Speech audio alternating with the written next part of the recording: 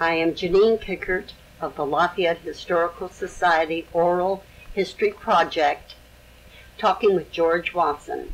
My son Patrick will assist with this interview. Today is July 22, 2013. Let's start with your full name and please spell it and where were you born? Okay. Well, do you want my middle name as well? That would be good. It's George. I think you know how to spell George. G E O R G E. Wingate. W I N G A T E. Mhm. Wasson. W A S S O N. And my birth date is September 21, 1923. You're proud of being your age, aren't you? And you should be. uh, who and where were your parents, and um, what is their background, George? Well, uh, first of all, I was born in Schenectady, New York. Um, my father is a Purdue graduate, graduated from Purdue in 19, er, yeah, 1913, and uh, he took a job with General Electric, which is in Schenectady, New York. My mother is a Vassar graduate, and she was born in Brooklyn. In fact, my father was, first of all, was born in Hope, Indiana, and I think it was 1889 or something like that. Uh, my mother was uh, born in Brooklyn, New York, in um,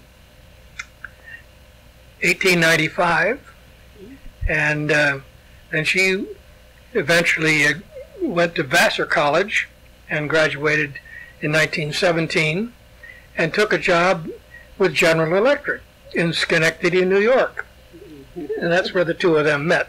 She actually was with several other Vassar graduates who were, quote, the first lady engineers that went to work for General Electric. Now, they really were not engineers, but, but they were hired in to do engineering type work. And so, anyway, they met and um, were married sometime, I guess, about, oh, maybe uh, 19, 19 or 1920. My father had been in World War One, and after that uh, came back to again to Schenectady, and they got married. Soon after that, er, in an appropriate amount of time, my brother was born in 1922, and I was born in 1923, and my sister was born in 1924. So my mother always said she was pretty busy raising children, having three kids in diapers all at the same time. well, then we moved from uh, Schenectady, New York, down to Philadelphia, where General Electric had another plant. My father worked uh, there in the engineering department. And um, then I lived there until it seemed like it was forever and ever. But I went through all the grammar schools and high schools and everything. Graduated from high school in 1941 and uh, went off to Purdue. And I was there in September of, or December of 1941 when we had that uh, incident in Pearl Harbor. and I figured I was not ever going to finish up before I'd be drafted. So I dropped out of Purdue in the first after the first semester and went to work for a while and then eventually I went to work for General Electric to begin with. And um, then the draft came along and I went into the Navy and was fortunate enough in the programs that were available to get into what was called Radio Materiel School, which was the school which taught you how to take care and, and repair radar. And so it was a little bit ahead of, of the times. And eventually I got assigned to a, well, first of all, in that program, there was one six months course, which was uh, in California, and I figured I was never going to get any place east of the, or west of the of the Mississippi, so I decided rather than go to Bethesda, Maryland, or Houston, Texas, or Chicago, I decided I would go to Treasure Island in San Francisco. So I was here for actually seven months, and uh, having gotten to Treasure Island and then finished up in the rest of the Navy things, I figured there wasn't any other place in the world to live. so eventually I, well, after the war, I got got back to Purdue and finished my uh, degree in electrical engineering, and uh, then decided to go to law school. And I, the company wanted to hire somebody who was an engineer who knew something about electronics, and it was in Detroit.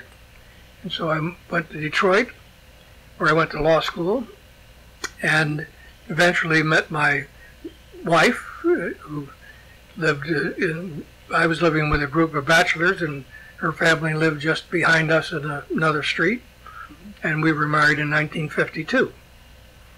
And she says that I never told her that I was going to come to California, but uh, I did. I'm sure I told her from the very beginning. anyway, uh, we moved to uh, California in 1957, and fortunately, her aunt and uncle lived in Oakland. She had a sister who was married out here and lived in Pleasant Hill, and so we were fortunate enough to find a home in Lafayette, and halfway in between Pleasant Hill and Oakland, and so it was a happy relationship. so that got me to California and to Lafayette. And in the course of time, we had three children. Two were born in Detroit, and uh, one was born out here in California. Then uh, after that, uh, I, uh, my church background was with an Episcopal church in the East Coast, and they were proposing to build a new Episcopal church in Lafayette. And so I got involved with it. It's the St. Anselm's, which is on Michael Lane, and our home was on Michael Lane, the one that we bought. Mm-hmm. And so I got active with them. And in the course of um, several discussions over whatever meetings and so forth, I met one guy who, and we got talking about things that were going on in Lafayette. And Lafayette was then beginning to talk about incorporating. It was still an unincorporated area of the Contra Costa County. And he had been very active with the Lafayette Improvement Association. And so he said, well, I think, I think you ought to get into the Lafayette Improvement Association. So I joined them and was active in that for a whole bunch of years. Eventually became president of that. And then the city of Lafayette, or the group in, the, in Lafayette, was talking about incorporating as a city. And the Improvement Association was involved with that, and I got involved with that as well. And I was a candidate for city council the first on the first vote. I didn't win that one, uh, and uh, eventually uh, became a candidate in another set of, of opportunities, and eventually was elected to uh, the city council in Lafayette uh, after the city had been formed by that time, and I was elected in uh, 1974, and uh, eventually became the mayor in 1976. And I always say, people ask, when were you mayor? And I said, the best time ever to be a mayor. 1976 is a centennial year. So we had ribbon cuttings and we had candidates coming through. Uh, at that time, Gerald Ford was the president, and he came through and spoke at Lafayette or in in Walnut Creek, and uh, all of us local mayors were up on the podium with him. So I always tell people that I have shook the hand of a president. yes, you have, and you president. and uh, to kind of wrap that all up, I only ran, only stayed on the council for one term, and eventually, when I was getting off of the of the council, uh, Lou Repetto was the head of the historical society, which had been formed a year, a couple of years before that, and he said, uh, "You know what we really ought to do is to make sure that the past presidents or past uh, mayors should be on the board of the Historical Society. And so I became a member of the Historical Society uh, uh, on the board. And uh, I guess I'm one of those, as my wife always said, you, your problem is you just don't know how to say no. so eventually, um, and I've been on the board with the Historical Society since 1978, let's say. It's Been a long time. So, anything else that you'd like to know about how I got here and why? Well, we do have a good story from you. um, we'd like to know um, something about, well, I guess those are your social activities, uh, the Historical Mhm. Society and the Improvement Association and, and things like that. And one of the questions was, but this would probably be in your background, what did you do after school when you were a young person? Were you Mhm. in sports or um, what were you interested in in high school? Well, in both in high school and in college, I was on the swimming team. And I, I'm a springboard diver. I was much slimmer and trimmer then than I am now. But uh, on, I was at uh, in the high school uh, swimming team. I was captain of the swimming team. Oh, And at Purdue, I was uh, one of the divers, and in fact, uh, went to the uh, intercollegiates one year at Yale from Indiana. We had a great time driving all the way from Indiana to uh, New Haven. Um, let's see. Uh, well, after that, uh, again here in Lafayette, we I decided our community decided we needed to have a community swimming pool, so we formed Rancho Colorados, and which was just over the next street over from where our home is on Indian Way, and I was involved with the building and formation of Rancho Colorados. Also, our son by that time was into Little League baseball, and so I got involved with the Little League baseball activities. And let's see what else. That's a is that's about school. what about your holidays? Are there any uh, special celebrations uh, as a child growing up, or even now that you um, so, that Well- you do celebrate? well. Um, uh, uh, let's say back in Pennsylvania, of course, we always had. Uh, in fact, we even called it Declaration Day, which is now called Memorial Day, and uh, used to get your bicycles all decorated, and there would be a local parade, and so we'd have those things. Of course, Fourth of July was always a big time. Um, during the uh, winter se- or football season, uh, I was a cheerleader in the high school. You're a cheerleader. And- anyway, uh, there are times when you play a football game in Pennsylvania when it still is plenty cold, like the the big game with our arch rival, which was the nearest uh, township, was always played on Thanksgiving Day, and sometimes the field would be frozen, which was no fun. But uh, at that time, incidentally, the high schools always played their games on Thanksgiving Day, but the University of Pennsylvania always played no uh, Cornell always on on uh, Thanksgiving Day, and so people would go to the high school game in the morning and then go to into Philadelphia to see Penn and Cornell play in the afternoon. Uh, let's see. So you usually had snow for your holiday. Well- no well, we had snow, yes. but not here in Lafayette. Well, we've had snow here in Lafayette. But actually- not during Christmas, probably. No, no.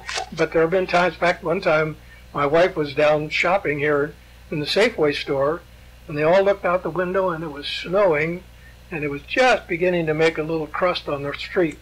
And by the time she got home, she made tracks up our driveway trying to get up to the house. So we do get some snow. I remember the one time in April. Yeah, it happens. The. It happens. People remember when it snows around here because it's so rare. Yeah. That's when they take a picture, and Yeah. especially in the old days, it was an occasion for Yeah. that.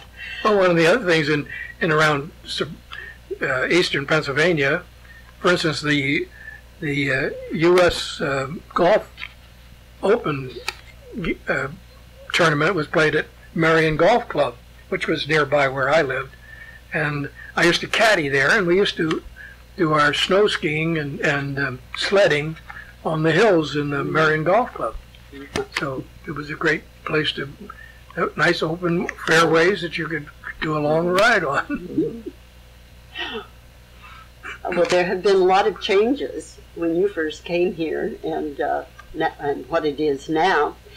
Mm, what would you change if possible? I know you're pleased with Lafayette. You've contributed so much Well, to its development. I guess the, the, the thing that really needs to change uh, in this whole area is that we got to flatten out some of the hills, only because there, our problem in all of the community here is that Lafayette is in a valley and hills all around it, and the nearby community of Moraga or Pleasant Hill or Walnut Creek are all have to come into Lafayette to get either to Oakland or to get to what is now 680 to get further south.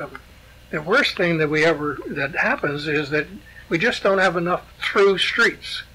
You can't get from Moraga to Walnut Creek or to Oakland without going through Lafayette or Orinda.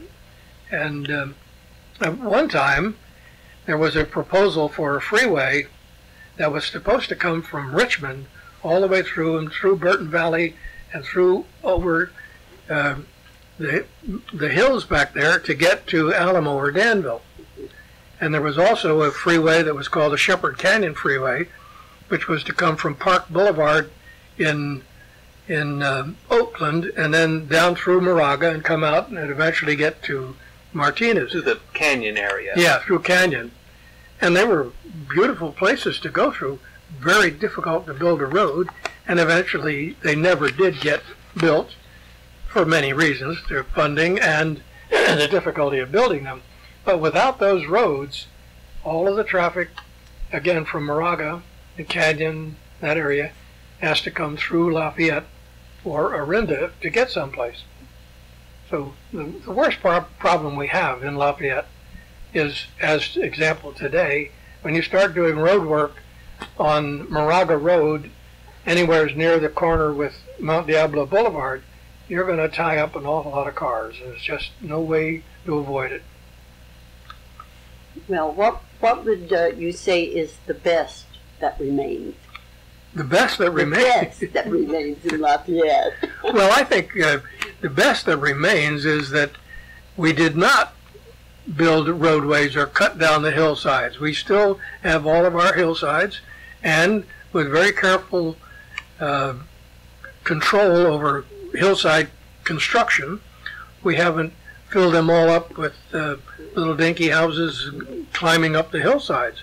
So you get out to our area, Burton Valley, and there's all a lot of homes in the valley, but nothing going up, mostly going up the hills. And the same with Happy Valley and Spring Hill. If you, you just make sure that houses are down so they don't d- destroy the, the hillside appearances.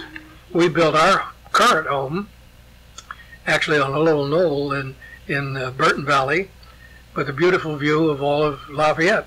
And when we were building the house, in fact, before we built the house, Burton Valley was was really just a walnut and pear orchard area.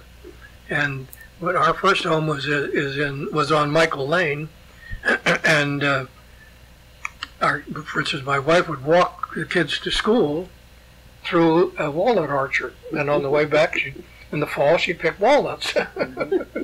that seems to be a common thread of uh, people who lived um, at that time in the 20s, 30s, Yeah. 40s, almost into the 50s, that um, when they were kids, they would be uh, picking walnuts and pears and the like from the Mm. orchards that were around here. Yeah. Well, you uh, you asked what we did on vacations and things. One of the people we, we were active with a group of people who actually the the center of it was a Lafayette Escadrille square dance group, and we used to go camping always two weeks in the end of July and August. But one of the guys in that group, uh, uh, Les Johnson, his home was on Las Huertas, just off of St. Mary's Road, and he said, and he no, I don't think he was born in Lafayette, but he grew up here. And he said at that, when he was a teenager, he used to work for the people that owned those walnut orchards out there. They, he would drive a tractor or do things like that.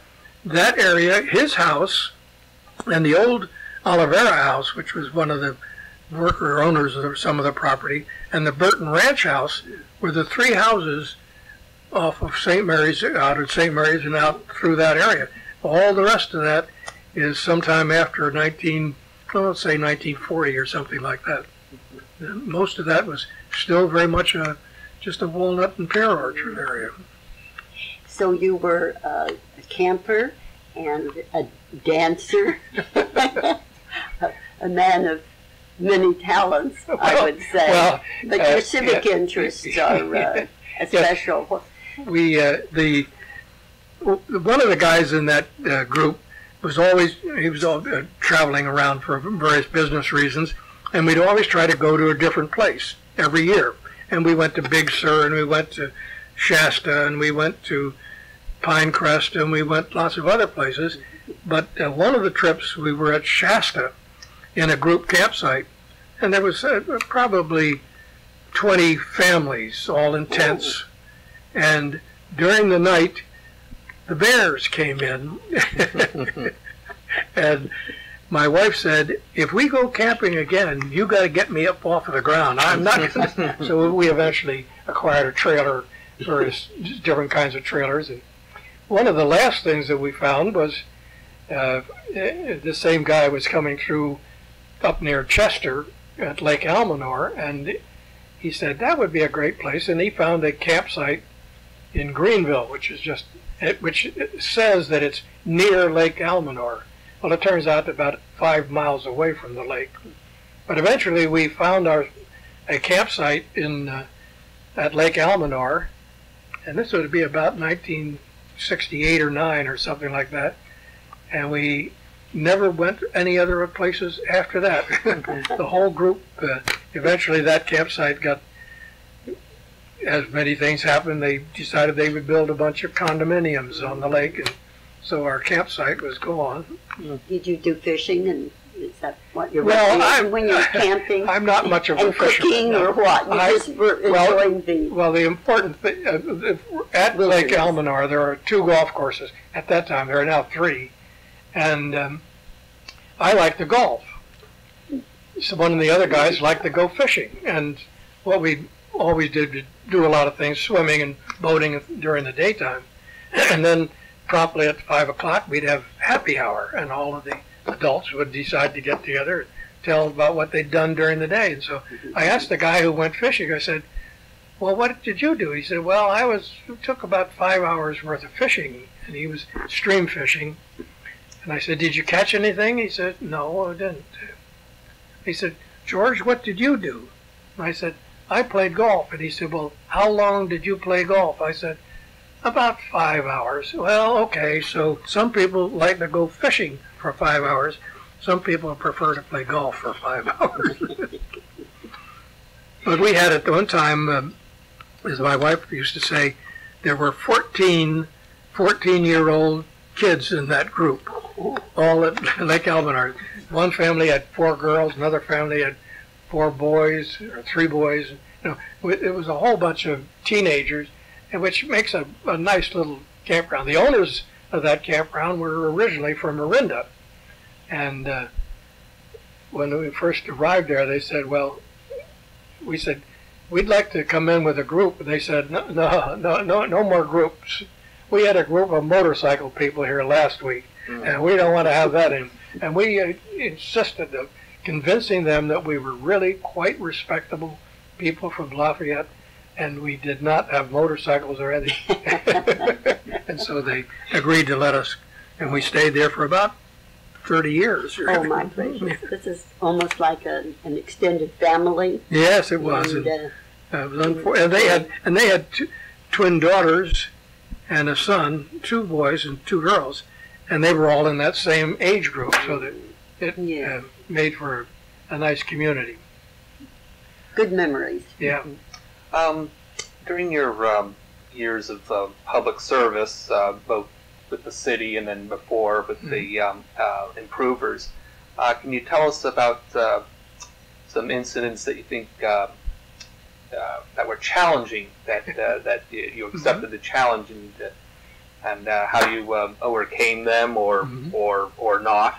Well, well, I think, for instance, it, with the, the Lafayette Improvement Association was, you know, formed when town hall is uh, built in 1914, and it was originally a part of what was then called the Lafayette Improvers Association or something like that. Anyway, we, in order to do any planning for the city in Lafayette, uh, you had to go to Martinez, and that was always the problem. You, it, something somebody would plan a subdivision or something like that, and we'd have to go all the way to Martinez. Not that it was a long way, but it just it's the county, and they had lots of things going in the county, so it never got immediate attention, and and that was really the drive of really why Lafayette decided to incorporate. We wanted to have local control over things because at that time, you know, they could somebody would come in and buy 20 or 30 acres of land and decide they were going to do a big subdivision. Not that they were not good subdivisions, but they were a whole lot smaller lots and things of that sort. Not, and not that you have to have a big lot, but it just was a lot of outside control Mhm. rather than It's and and the same way with roads and things. If you needed something done on the roads, you had to go to Martinez to to the traffic commissions or those kind of Mhm. people in order to get something done. So the important thing about uh, Improvement Association was that we were able to kind of make a good name for ourselves. We had a good concept of what Lafayette ought to be, and we did not want to be just another um, building of all kinds of different things. So it um, worked out very well. On the on the city council, again, forming uh, from the very beginning, getting a general plan for the city was a big chore for the first city council, and this first and second. I was on the third city council, but the uh, the fact is that you've got a lot of things to do, and m- most of the people had, had, like me, no experience at all with being a part of a municipal uh, business or corporation or, or whatever it might be. We were fortunate enough to get Ernie Mariner as our first city manager, and uh, he led the city councils through an awful lot of improvements over the years. But again, the biggest challenge has always been, well, for example, when when Lafayette was first incorporated, I think there were like six or eight gasoline stations on Mount Diablo Boulevard, and each one of them had a big sign or two signs, and all the everybody around had big signs, and the city council and the city decided we don't want to have that. They had no objection to the service stations but they did not want to have a whole bunch of signs all over the place. So first thing they did was form a sign commission, and we started enforcing the sizes and the kinds of signs that you would have. And for example, they, uh, for instance, the Chevron station at Happy Valley Road and, and uh, Mount Diablo Boulevard, their signs were bigger than what the city was proposing. And they said, well, uh, no, we have this size sign. And the city said, you can have that size sign if you'd like, but you're not going to put it in Lafayette. and the same with 76 or Amoco or whoever it might be. Everybody had to have the signs down low and appropriate size. That was so- a big improvement. It has, it sure makes a difference. I, I and uh, and a lot of the landscaping on Mount Diablo Boulevard has made a much great, much difference. In fact, before the highway, the 24 was built, uh, I commuted to San Francisco and on the Greyhound bus, and everybody came right down from after you came through the tunnel, came down through Orinda and you wound around through the Orinda, past the theater, out onto Mount Diablo Boulevard, and again down into Lafayette, and all the way to Walnut Creek, and it was just a chore. Not that it's it's got more traffic on it today, and I think it did then, but it sure is um, not bumper to bumper traffic Mhm. all day long. So I think traffic uh, i and is one of the serious problems that uh, the city faces, and, and parking. When I got onto the commission or onto the city council, I decided we really ought to do something about parking. So I one of my uh, campaign things was to form a parking commission. And so we did. We haven't produced a whole lot of parkings, but we've at least established, we did a, a survey to see how many parking places were needed and how many we had. And needless to say, we came up woefully short with parking, and it still is a serious problem today, just as soon as you start doing some repair work on the street. It's interesting that Lafayette has no dedicated parking structure the way, say, in Walnut Creek. Yeah.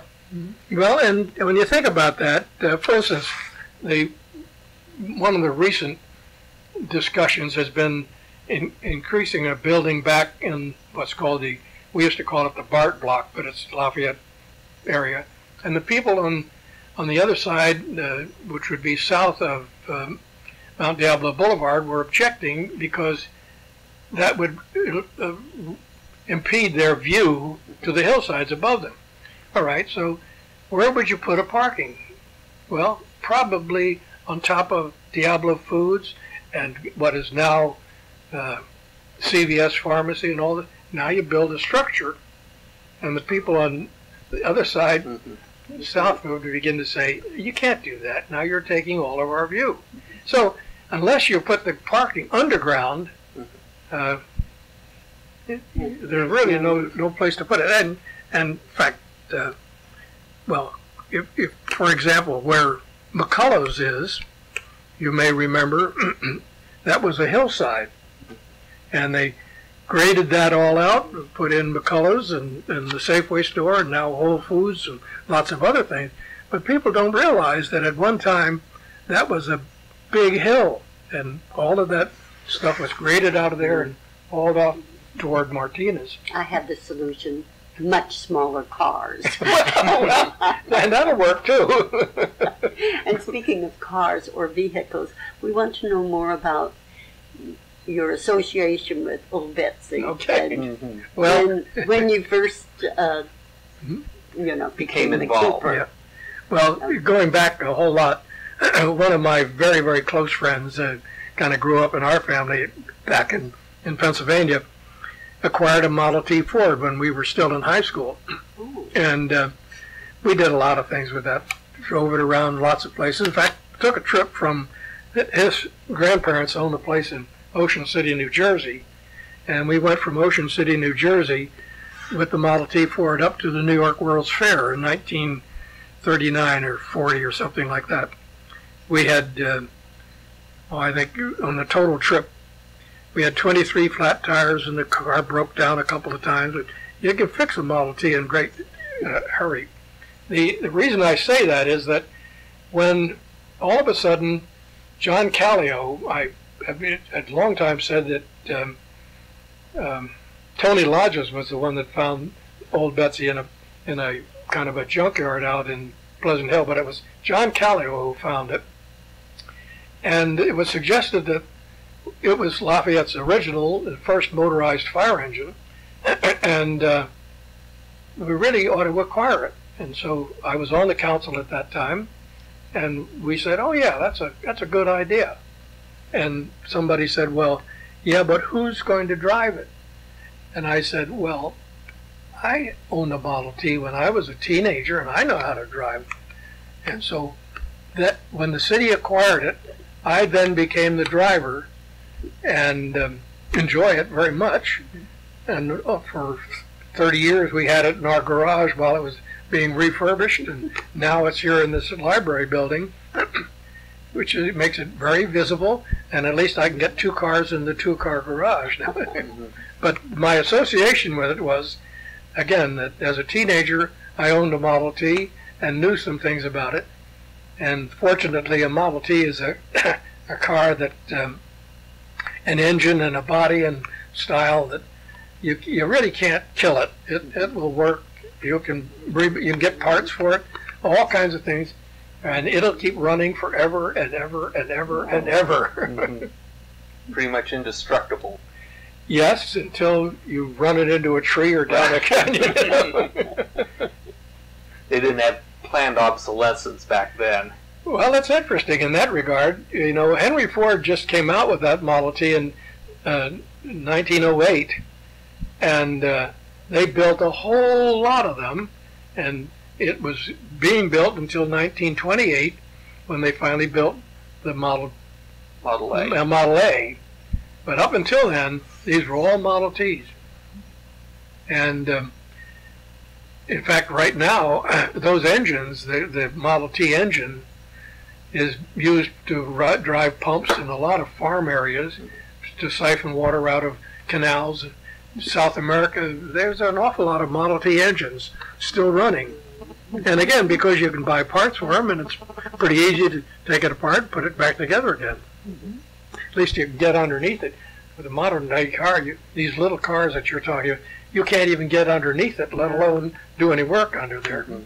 They're all computer controlled, and you have to have a lot of Right. sophisticated Yes. diagnostic equipment to know Yeah. what's going on. hmm Well, that was a real pleasure for you there, wasn't it? Well, yes, I, I enjoyed it very much, and the, and you know we go to parades and you get to wave at people and people riding in the back and waving flags.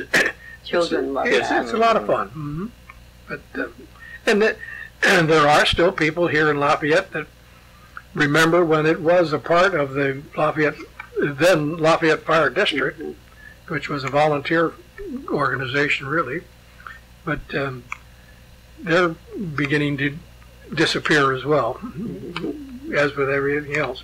But the Model T will continue on forever and ever. Just, I'm just wondering, do you need to turn it? in order- let's See.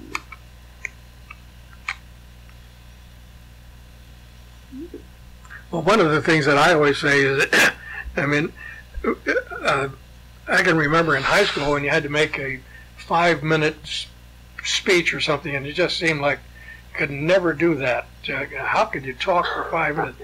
I always tell people, nowadays, just give me a chance. I can talk forever and ever and ever. uh, so, and in that regard, for instance, I uh, I'm a patent attorney that makes the combination of engineering and law together. And I worked for Chevron for many, many years before I retired. And I've been active with helping inventors along the way, trying to keep them from wasting their money doing things with patents. And it's always fun to watch a city like this grow and watch inventors grow and watch, well, and watch this building that we're in here. When you consider that the old original Veterans Hall was really a not a very attractive Mhm. place, Mhm.